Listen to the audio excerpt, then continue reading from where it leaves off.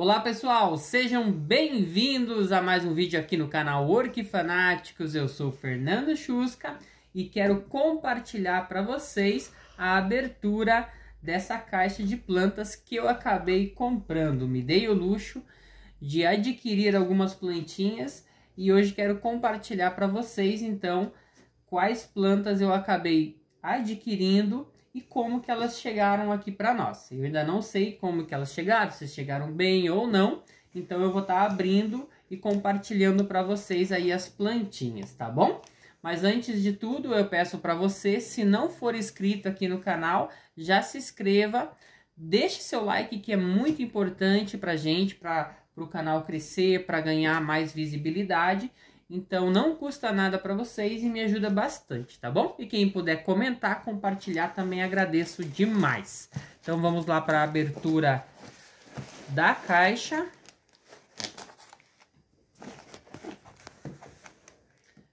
Vamos lá, gente. O que será que chegou aí, hein? É sempre bom a gente comprar plantinhas novas.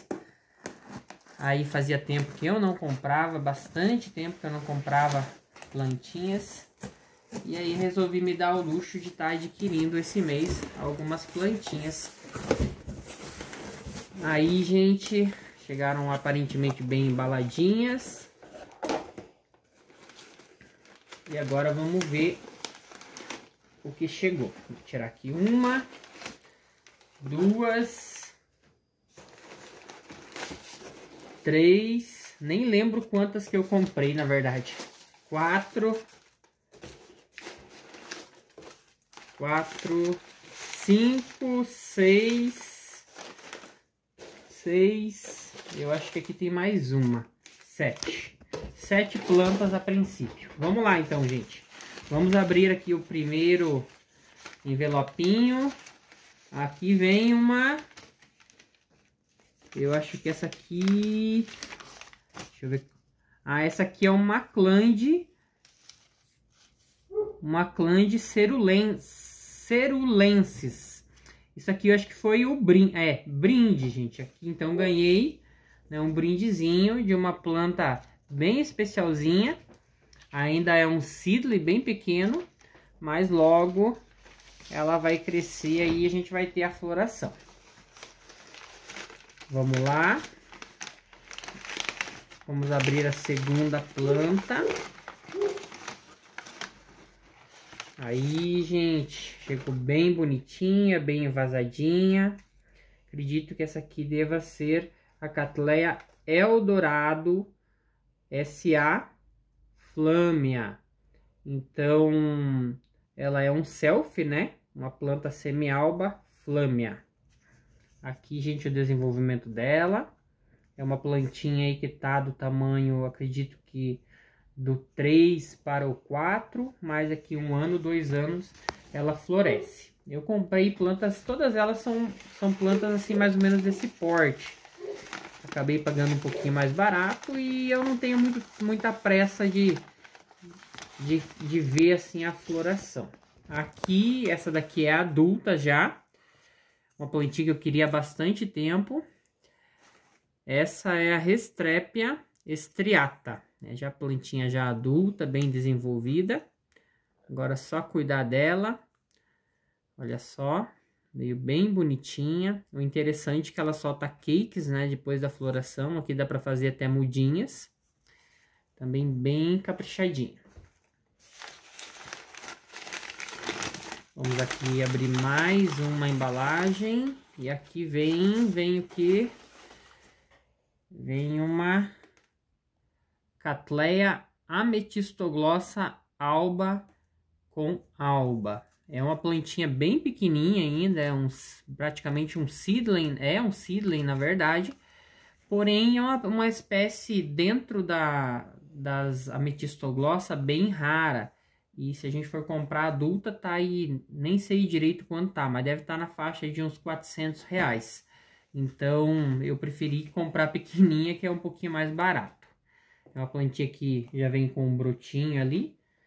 E eu vou replantar ela depois, depois de dar uma hidratada nelas. Aqui vem mais uma. também uma planta de porte médio. Essa é uma Catleia máxima cerulha. Então, uma plantinha, é, se eu não me engano aqui, é Catleia máxima cerulha Hector, Heitor, né? Não sei como é que fala direito ali, Heitor, eu acho. O Hector.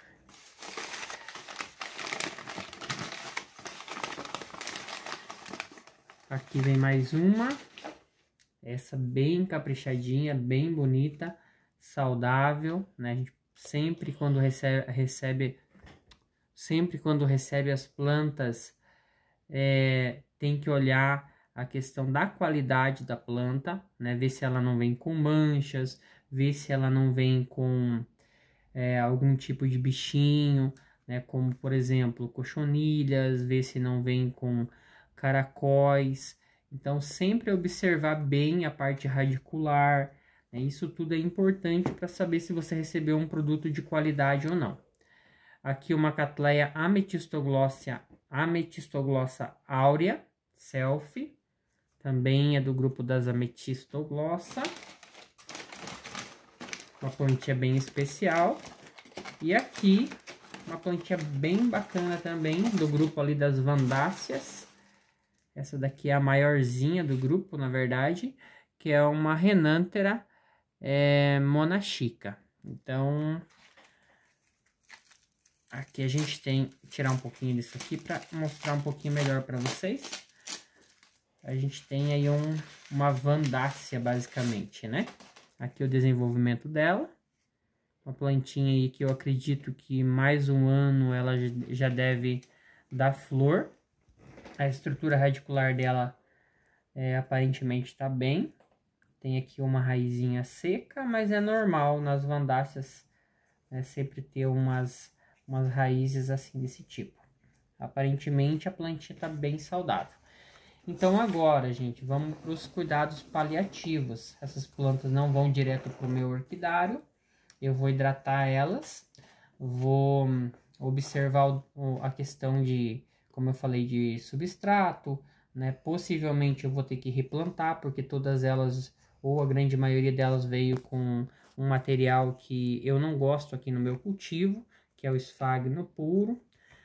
E mesmo assim, gente, é, mesmo que tivesse vindo no material bom, o ideal é a gente sempre replantar, porque muitas vezes vem alguns, é, algumas pragas junto, entre elas caracóis. Né? Então, sempre é ideal a gente fazer o replante logo após que as orquídeas chegam e aí né, deixar elas em quarentena, aí pelo menos uns 7 a 10 dias, o ideal se a gente conseguir deixar um pouco mais, para observar se as plantas vão é, se estabilizar, se não vão desenvolver fungo, se não vai aparecer outros problemas que possam estar contaminando as orquídeas que você já tenha no seu orquidário.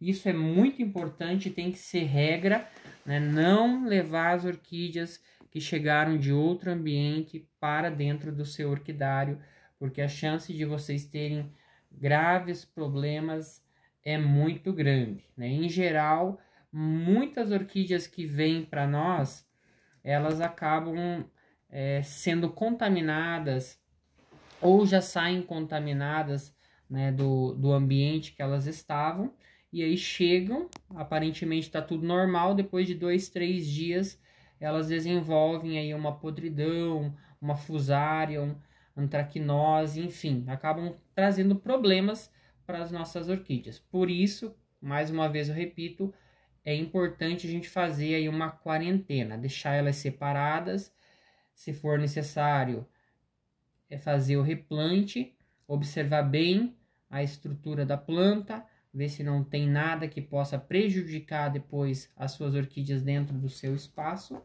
E se houver, aí fazer o tratamento adequado, tá? Em último caso, vocês têm aí até sete dias para estar tá reclamando com, com a pessoa que enviou as plantas, com o orquidário, né? Então, isso é, é garantido por lei, né, do consumidor. Então, vocês tendo algum problema que seja decorrente de envio ou mandou uma planta é, de má qualidade, vocês podem estar tá reclamando aí com o vendedor de vocês, tá beleza? Então eu espero que vocês tenham gostado.